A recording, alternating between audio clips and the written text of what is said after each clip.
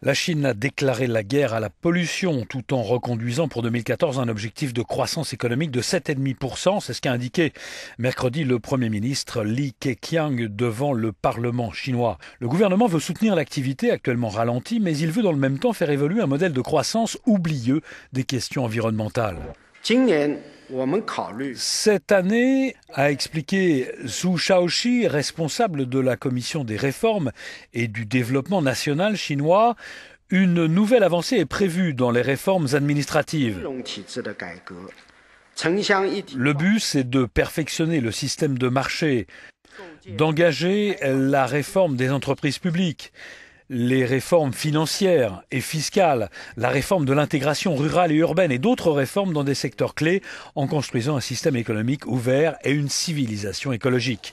L'objectif de 7,5% de croissance en 2014 suppose un assouplissement de la politique monétaire gouvernementale alors que la politique actuelle est au resserrement des vannes du crédit. En attendant, devant le Parlement chinois mercredi, le Premier ministre Li Keqiang s'est montré volontaire pour lutter contre la pollution, annonçant que 50 000 chaudières à charbon seront supprimées cette année, que les centrales thermiques seront modernisées et que 6 millions de véhicules anciens seront mis à la casse.